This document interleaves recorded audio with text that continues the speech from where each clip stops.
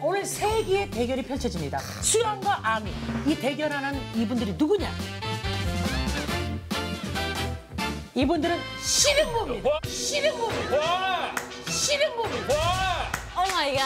오늘 세 개의 대결이 펼쳐집니다. 네. 우리 요원 두 명과 가장 잘 먹는 씨름부에서 에이스만 두 명 옵니다. 이 두 분을 소개하겠습니다. 씨름부의 에이스 두 분 나와주세요. 우후!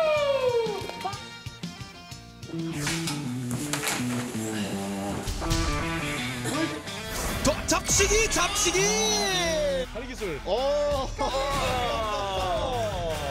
야.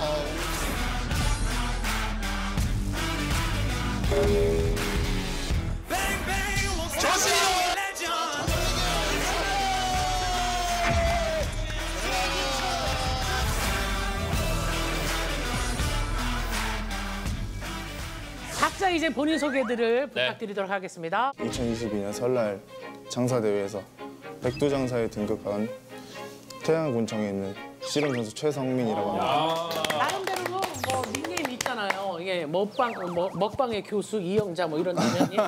저는 예 많이 제2의 강호동이라고 불러주시더라고요. 오. 안녕하세요. 저는 싫은게 인구. 네? 인구요? 아, 다들 싫은 게 여진구라고. 아.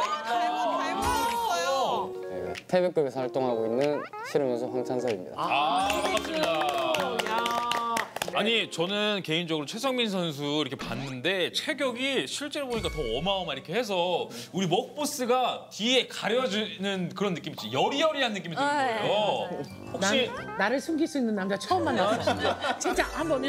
이렇게 되면 그냥 일어나 봐. 내가 수... 짜봐요. 아니, 보세요 한번. 진짜. 와.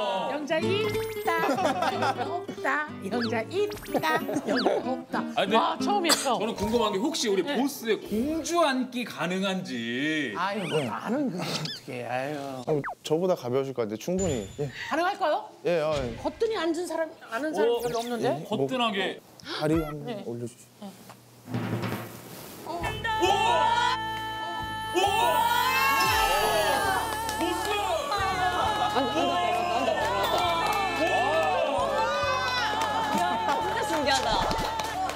내가 다 심쿵했어 지금.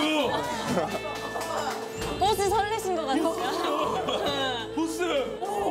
야 백두급 봤다. 야 장사다. 그럼 자, 오늘 대결하실 분은 딱 두 분이에요. 아니, 네. 이분들은 혹시 돈줄이나 네, 이분들이 운영하는 어, 너튜브에서 보신 적 있어요? 네 유튜브에서 본 적 있어요. 아, 알겠습니다.